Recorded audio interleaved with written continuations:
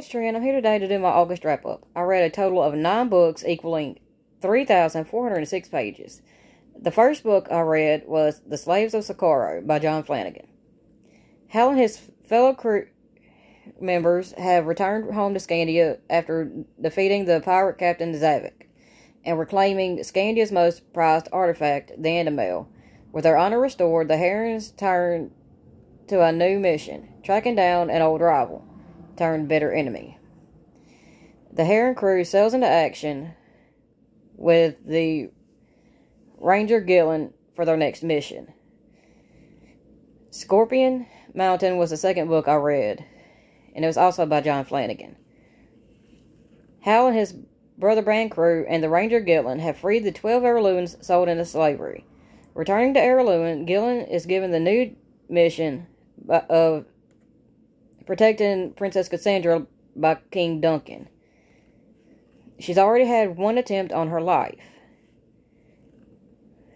The Serpent King by Jeff Zentner was the third book I read. Dill is a misfit in his small religious Tennessee town. His dad is in prison for a shocking crime, and his mom is struggling to make ends meet. The only things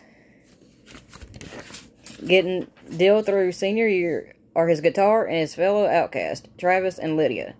Travis is an oddball who finds comfort from his violent home life in this epic book, epic fantasy book.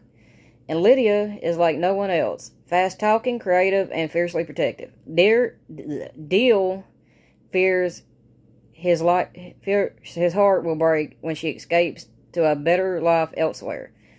What Dylan needs to know is some bravery. What Dylan needs now is some bravery to tell Lydia how he feels and to go somewhere with his music and to face the hardest test of all when tragedy when tragedy strikes. Y'all, this book had me ugly crying for real. The fourth book I read was Paranormalcy by Kiersten White. Evie's always thought of herself as a normal teenager, and even though she works for an, the International Paranormal Containment Agency, her ex-boyfriend is a fairy. She's falling for a shapeshifter, and she's on, the only person who can see through all paranormal glamours.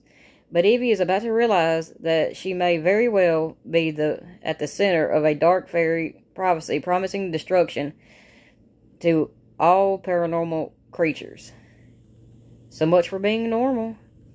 That was a really good book. Divine by Mistake was the next book I read by PC Cast. It's a exciting fantasy novel about Sharon Parker, a high school teacher who is transported to an ancient Celtic world and transformed into to, into the high priestess of the goddess Epona, a position that puts her right in the middle of a global conflict against an evil demonic Forian, Fomorians. The next book I read was Divine by Choice by PC Cast.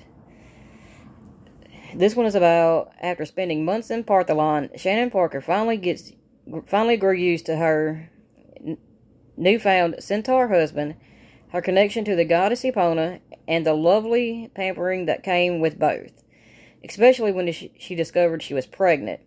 Then a sudden burst of power sent her back to her old life and left her once more as a teacher in Oklahoma.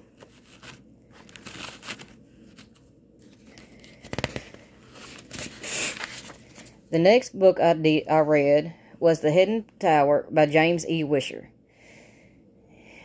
This book was about Otto Schenk, the youngest son of a minor baron. He's also a wizard, abused by his family and considered less than human by his kingdom. Otto does his best to survive, but the but everything changes when Otto stumbles across the t- across a tower hidden deep in a dark part of the nearest forest, the forest near his home. A tower that was once the home of an arcane lord, the immortal wizards that long ago ruled the world. Otto's life will be changed forever, and so will the world.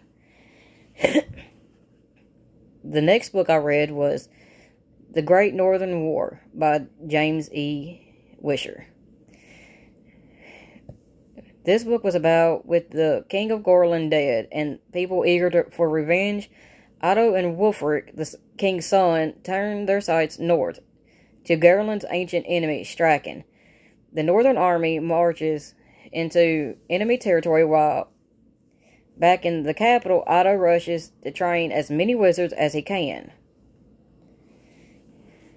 The next book I read, and the last book of the month, was The Portal Thieves by James E. Wisher. After the failure in Straken, Otto was forced to accept it, that as long as Garenland's enemies can be can send reinforcements through the portals, the Northern Army has hope has no hope of taking Marduk. But Otto has a plan. Seize, seize control of the portals and turn the enemy's strength against them. To accomplish the, accomplish this seemingly impossible goal, Garenland, uh, Garenland's top spies are dispatched to place magical patches on the portal, portals in every capital. Behind the enemy lines and on their own, it will be a miracle if the spies can survive, much less complete their missions. Each book was a four star read for me this month.